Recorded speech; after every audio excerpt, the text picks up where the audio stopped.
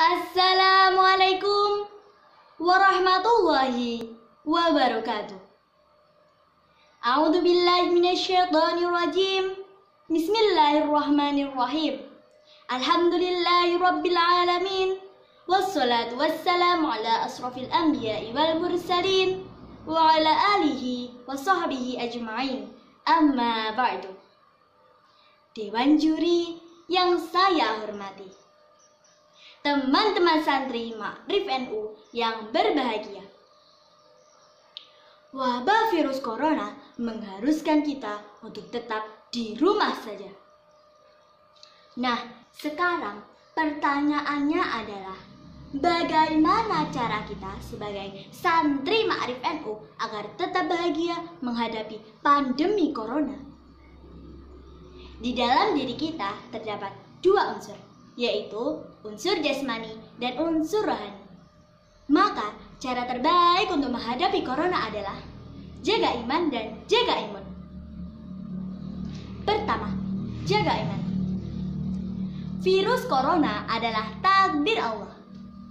Jadi, cara terbaik mengatasinya adalah mendekatkan diri kita kepada Allah.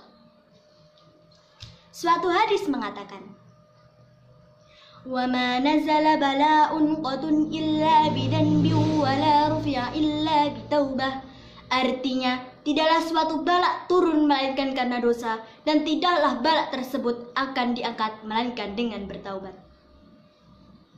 Nah, bagaimana ya caranya?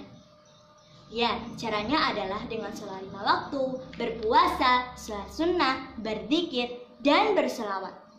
Contohnya, bersolawat ketika rebahan, bersolawat ketika belajar, dan lain-lain.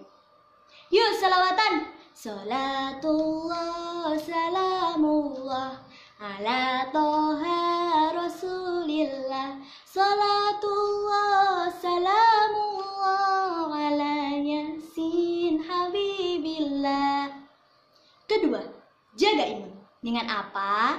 Ya, dengan makan makanan bergizi, cuci tangan, menerapkan social dan physical distancing, serta yang paling penting adalah tetap bahagia, bunga, dan ceria.